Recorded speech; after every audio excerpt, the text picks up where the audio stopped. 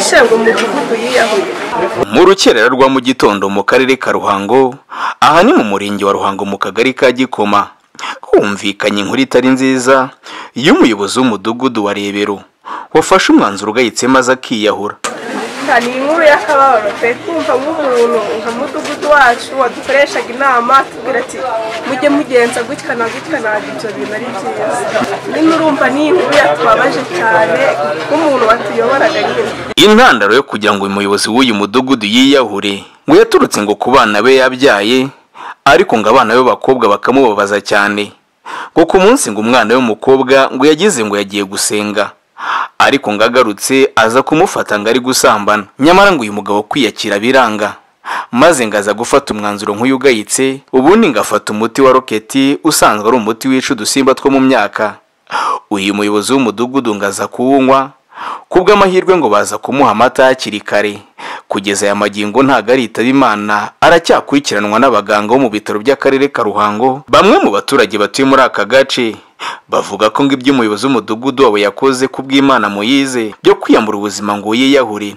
Babifata ko ngo ibyo yakoze ngo ari amahano akomeye cyane. Bavuga ko ngo atari ubwa mbere akorera ikosa ryo gushaka kwiyambura ubuzima ngo yiyahure. Ngo ibyo yakoze bibaye ku nshuro ya kabiri. Kwiyahura impamvu ubwo atari byiza uwo muhungu yiyahuye ari mu mudugudu. Ni ukuvuga ngo ari mudugudu nimba yiyahuye yayoboraga abaturage urumva wa baturage bo icyizere bamugira ni iki?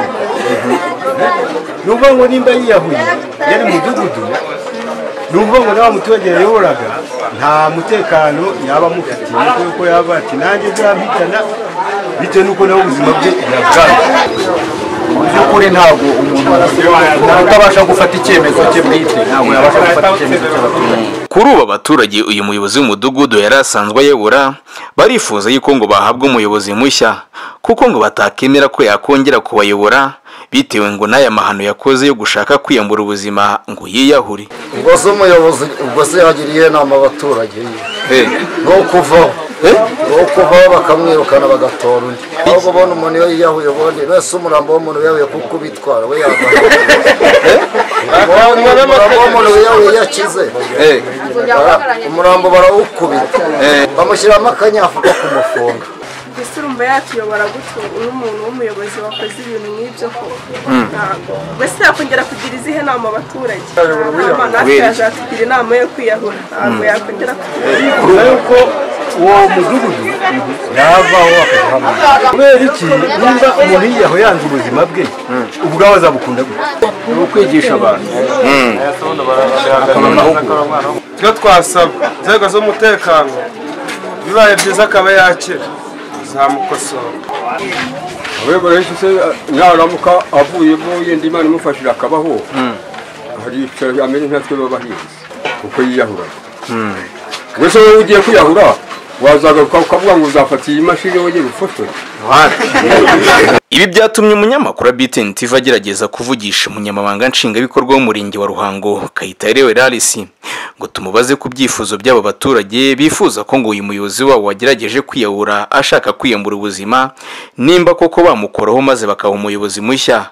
Nubwo kugeza aya magingo nawe akiri kwa muganga agikomeje kurwara ibikomere yatewe n'uko yageragezaga kwiyahura.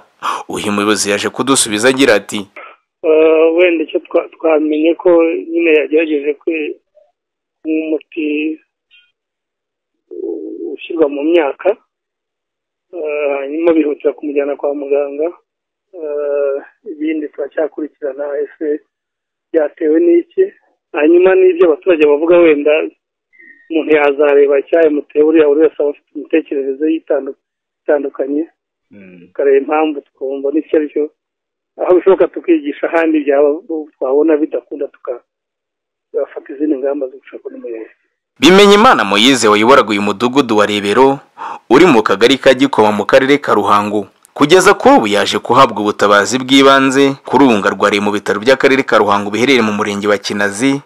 Abaturage barifuza ko ngo niyo yaramuka akize. Bifuza ko ngo atakongera kubayobora kuko ngo ibyo yagaragaje ari indangagaciro mbi. Iyi ni BTN TV Ngendimahoro Samsoni ahanini mu karere ka ruhango ndi mu murenge wa ruhango. Ndahazwi cyane nko ku irebero ni mu kagari ka gikoma. Ndi mu ntara y'amajyepfo.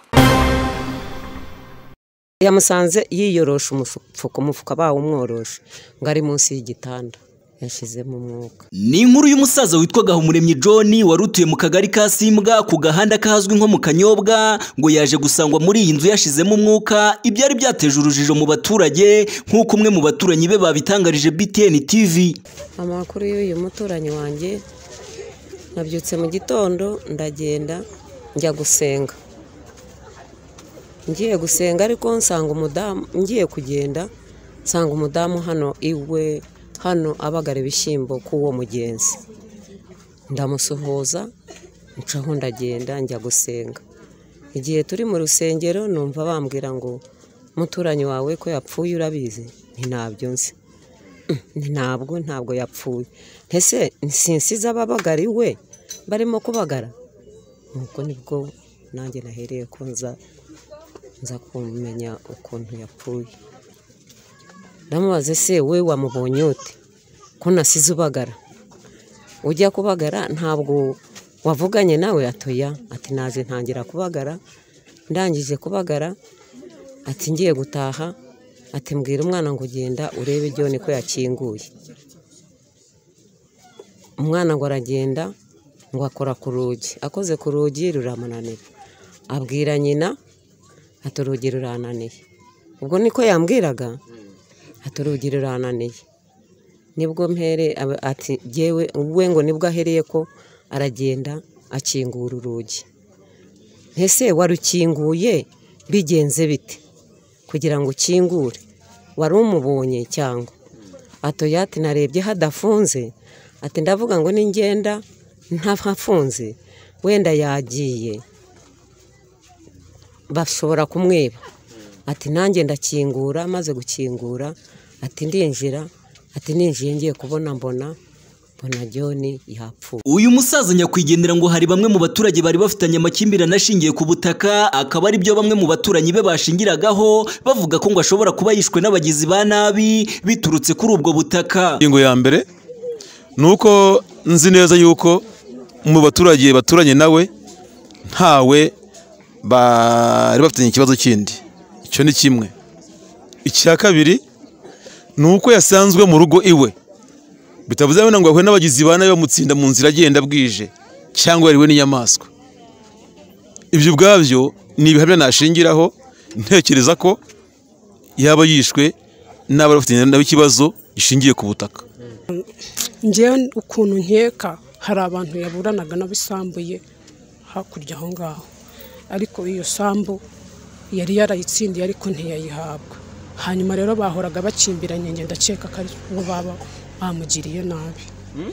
Ndakeka ko ari bo baba bamugiriye nabi. Rugaravu jean claude ni umunyamabanga nshingwabikorwa w'uyu murenge wa kabarore. Tuvugana nawe ku murongo wa telefone yadutangarije ko bane mu bakekwaho mu kugira uruhare mu rupfu rw'uyu musaza bamaze gutabwa muri yombi ndetse ngo iperereza rikaba rigikomeje. Aya makuru koko ni ukuri. Hari umusaza wibanaga. Ejo bamenye amakuru ko yitabye imana tugiye gusanga koko uko byagenze. Nyuma yaho hakozwe iperereza ry'ibanze inzego zibishinzwe hari abakekwa bageze muri bane bafashwe ubu bakaba bari mu nzego z'ubutabera bari muri ribu ibimenyetso by'ibanze byagaragaje ko yanizwe ndetse ibimenyetso cy'ibanze. Ariko ibindi byose bizatangwa n'urwego rufitiye ububasha. Abaturage twabahumurije n'ubuyobozi ariko tunihanganisha umuryango wa nyakwigendera ndetse n'abaturanyi be be kuka umutima kuko ubuyobozi burahari. Iperereza ry'ibanze ndetse n'ibizakurikiraho bazabimenyeshwa ni cyo twabagiraho inama kugira ngo bategereze ibizava mu iperereza ubwo twatunganyaga iyi nkuru umurambo wa nyakwigendera wari ukiri mu bitaro mu gihe abaturage batuye muri aka gace by'umwihariko bakomeje gusaba inzego zibishinzwe ko waramuka hamwe n'iki cyaha akwiye gukanirwa urumukwiye ndetse ngo byaba ngombwa bakamuzana akaburanira hagati mu baturage. Umuyange jean batiste btn tv mu karere ka gatsibo.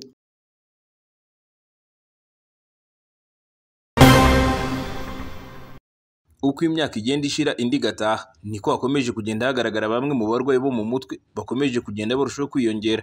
Yaba mu mujyi wa kigali ndetse no mu bindi bice by'igihugu. Bamwe mu baturage twaganiriye bakaba bagaragaza igituma ubu burwayi bwo mu mutwe bukomeje kurushaho kwiyongera. Ibibazo nyine ni ibibazo ubona hanze hano ubukene ni iki n'iki ni byo biba bitera ibibazo hanze aha ngaha byo mu mutwe ni iki? Biriyongera ubwicanyi. Agahinda gakabije ibibazo byaramaze kurenga abantu. So ntabwo ari ukuvuga ngo gusara kose ntabwo ari ukwiruka ku mutwe ku musozi. Ahubwo gusara icyo bita ibisazi ni ibintu biba byarenze umuntu ku buryo ata ubwenge. Biba bigaragarira amaso. Bakomeza bagaragaza yuko ubuyobozi bwakagombye kurushaho kwegera abaturage. Kandi hariho n'ikibazo cyo kunywa inzoga mu buryo bukabije. Hakagombye rero kwitabwa ku muryango cyane. Kwitabwa ku muryango cyane. Mbona ari cyo cyakagombye gukorwa tumufashe mudufashe muduhe inkunga tugire muduteze imbere tugire. Profeseri Vincent Sezibera ni impuguke mu bijyanye n'ubuzima. Nawe akomeza asobanura ikiri gutuma abarwayi bo mu mutwe biyongera ndetse akaboneraho no kugira ubutumwa agenera abanyarwanda n'abaturarwanda muri rusange. Ubundi ibi biganiro biri kubera aha ngaha muri rusange ni ukwezi kwa cumi aho habamo umwihariko wo kuzirikana ubuzima bwo mu mutwe ku itariki icumi z'ukwa cumi. Uyu mwaka twakunze kugaruka ko ku birebana n'ubuzima bwo mu mutwe nk'uburenganzira rusange abantu bakwiye guhabwa ndetse bikanahabwa agaciro. Kuba tugaruka ku rubyiruko ahangaha wabonye ko hahuriye za kaminuza zitandukanye. Ni uko imibare si no mu rwanda gusa imibare ku isi igenda igaragara ko urubyiruko rugeramiwe. Iyo ureba nk'impamvu icumi ziba ziri ku isonga z'urupfu mu bakiri bato. Ibibazo byo mu mutwe biza ku mwanya wa gatatu ukagera no ku wa karindwi ariho hagenda hagaragaramo kwiheba gutekereza kwiyahura no kwiyahura. Hagati y'ibyo byombi ugasanga harimo gukoresha cyane cyane ibiyobyabwenge n'ibisindisha cyangwa se gushaka ibindi bibarangaza. Umuntu yanavuga ko hari ibiri gukorwa kuko n'ikiganiro nk'iki kiba gifite icyo kimaze yaba ari mwebwe mukoresha ibitangazamakuru yaba ari inama nk'izi ni no gufasha abantu gusobanukirwa basobanukirwe ibibabaho. Iyo umuntu yasobanukiwe ibiri kumubaho yitwara bitandukanye n'uko yakwitwara mu gihe adasobanukiwe ibiri kumubaho. Ubwo bushakashatsi bugenda buvugwa hirya no hino bukorwa mu gihugu yaba ari abato cyangwa abakuru. Icya mbere ari ubwo batekereza ko ibiri kubabaho bamwe bakabyita amarozi abandi bakabyita amashitani urumva imyumvire nk'iyo ntabwo yatuma umuntu amenya kwita izina ikiri kumubaho ngo binatume amenya uko yagishakira igisubizo. Icya mbere rero bikomeza no gukorwa n'ubwo bukangurambaga abantu basobanukirwe amenye ko uko ajya kwa muganga kubera malariya cyangwa ikindi kibazo cy'ubuzima afite ko n'icyo na cyo mu gihe bimubayeho yakumva ko yashaka ubufasha. Ikindi ni ugukomeza guhugura abanyamwuga bagire ubumenyi buhagije bagire